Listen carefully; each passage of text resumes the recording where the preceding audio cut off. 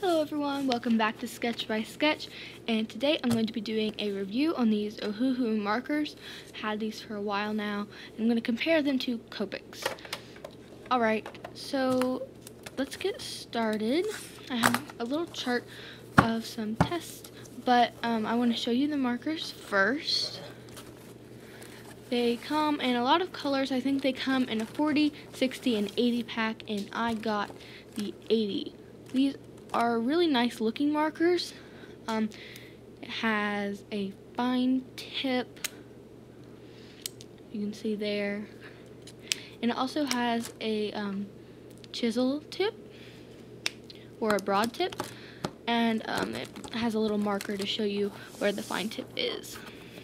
Okay, so the first test I have is the bleed test to see how much it actually bleeds through the paper. And I'm just going to choose a dark marker. I think I'm just going to maybe go with a black. And I'm going to use the chisel tip and just go back and forth and put a lot of ink on the page and see if it bleeds through. I'm also going to add just some purple over top of that because you would most likely be layering your colors.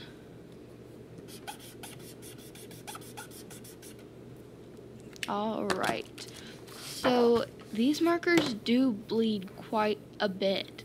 They do bleed a lot, so you definitely want to put something behind there and don't use these in sketchbooks if you don't want them to bleed through. So that test was a fail.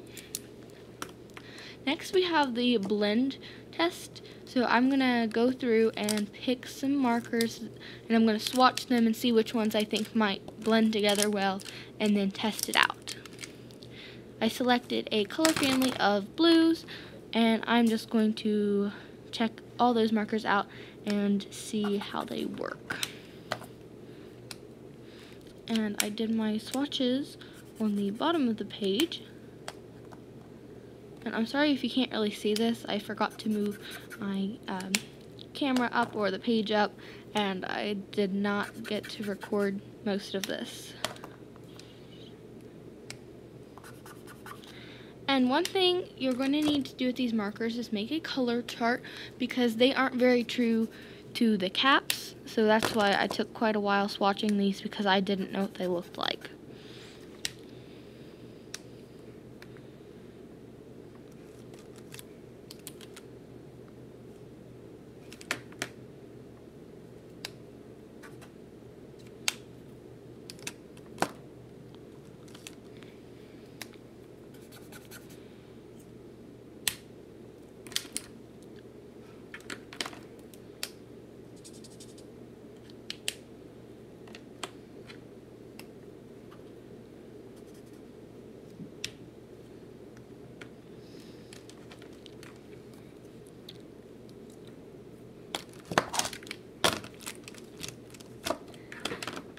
Okay, so I found some markers to use for this test, and I'm starting out with this lighter blue color, and I just used my broad tip for this blending.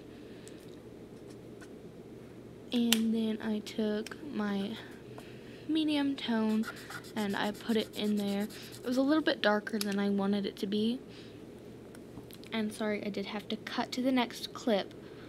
But, um, the blend did work. Now we are using this tip, the fine tip, and I really wish it was a brush tip, but it's not, so you just kind of have to make do with it. And then my broad tip. It's pretty nice. Um, it's just a broad tip. I don't use it that much, but I mean, some people do like to have that. The next test is the feathering test to see if all the colors feather. And what I'm doing here is I'm just going to draw a little box and color inside the lines and see if it um, runs outside of the box. And I was being very careful to color right to the edge like I would if I was coloring anything and it did bleed just a little bit like feather but my overall is four stars I think they're really nice markers So yeah, thank you guys for watching, and I'll see you guys in another art video. Please like and subscribe.